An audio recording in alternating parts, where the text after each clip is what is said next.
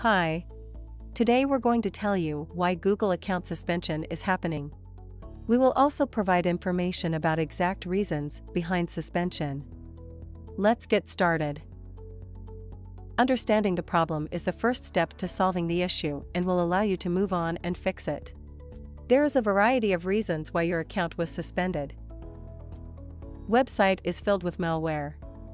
Clearly, when your website is threatening customers' privacy and finances are put at risk, there is no way your ad campaign going to go smoothly. Google simply won't allow it.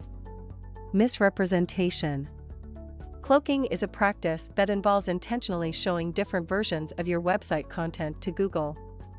Using a trademark or logo that is indistinguishable from another's is also bad. Prohibited practices. You can use Google's platform to sell prescription drugs and medical products in countries only where it's permitted by local law. Phishing and other misleading actions on your website are obviously prohibited. Payment issues. This considered if your payment didn't go through even once, using promotional codes many times.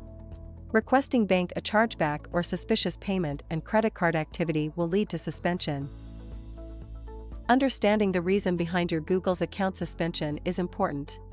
Someone might say it is already half of solution. It's the right step to do before going for recovery.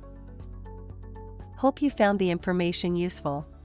Don't forget to subscribe to our YouTube channel and check out our videos with other great Google marketing solutions for your business. Thank you. Have a good day. Bye.